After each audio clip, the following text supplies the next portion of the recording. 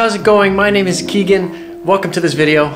Welcome to my channel and uh, glad to have you here. Today we're gonna talk about only two sliders in Lightroom, the vibrance and the saturation. You might be thinking like, who makes a video on two Lightroom sliders? But let me tell you, these sliders are powerful and you can really get amazing colors out of your photos just by using these two sliders. And I'm gonna tell you how to do that today. All right, so first thing we'll talk about is saturation. All saturation does, it's very simple. It boosts every single color equally. Saturation doesn't really do nice things to human skin tone. Now on the other hand, vibrance is kind of a smart tool where Lightroom analyzes the image and interprets which colors are more muted. So when I boost the vibrance, we'll see that these colors get pushed, but we don't get much push on her skin tone, which is kind of nice for portraits. Now looking at these images side by side, on the left I have the saturation pushed to 50, and on the right I have the vibrance pushed to 50. You can see that the saturation at 50 has a stronger effect overall and it really affects skin tones. But the vibrance is just not as powerful and it has less effect on skin tones. Now let's take a closer look at both images while I slightly push up the vibrance to 60 here. So now the colors are a little more even between both, but we can see there's still a difference. In the background, it's pretty obvious that the vibrance is pushing the blues and greens a lot more than the saturation. But the saturation is definitely pushing the oranges and reds a lot harder. Look at her jacket, look at her hair, and especially look at her skin tone. Okay, so now that we know how vibrance works, now that we know how saturation works, let me teach you a sweet trick that I like to use on pretty much every single photo that I take and edit. Let's take a look at this picture here. Don't worry, this is fake, this is makeup. I was shooting behind the scenes photos on a movie set. Here's the trick I like to do. I always like to boost the vibrance until I get a little bit too much in the oranges of his skin. But what I'm gonna do is reduce the saturation to bring the skin tone back to normal. Just about like that. Now, I'm gonna cycle the before and after. Take a really close look at his skin tone and the colors around him. We're getting a ton of color, but his skin tone isn't changing. I love it.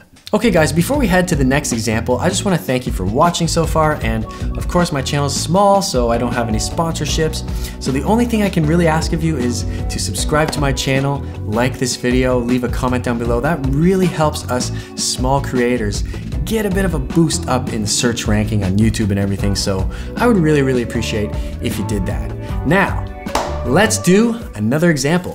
So this is the portrait that we looked at a little bit earlier. I think it's a really great example because we have a lot of color to work with in it. By the way, this model's name is Fred. You can go check out her Instagram. I linked it down in the description.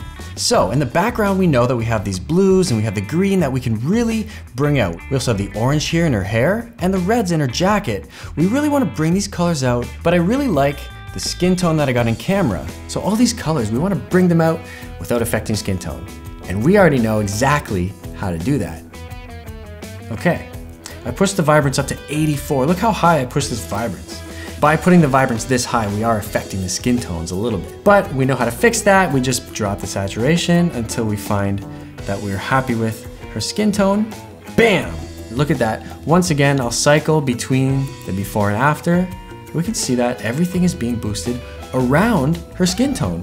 How neat. This is like, if you didn't know this, this is a revelation. This is a true revelation.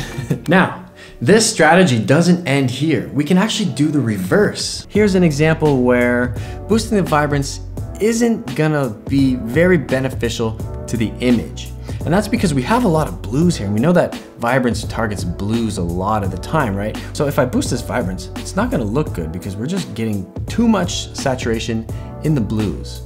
But let's try the reverse. I'm gonna drop this vibrance so we lose a bit of saturation in the blues, push the saturation, and now we're getting a really nice color palette out of this picture. And now let's look at before and after here. Now we have a little bit less of a saturated color palette, and to me it looks a lot nicer. And then of course, after you use this strategy, don't forget to go in and edit the picture to your heart's desire. That's it. It's so simple boost the vibrance, drop the saturation, or vice versa if the photo calls for it. So that's everything. Thank you so much for watching. I'd love to have you subscribe, ring the notification bell to get notified when I post videos in the future. Thank you for liking this video. I really appreciate it. And I can't wait to see you in the next one. Peace.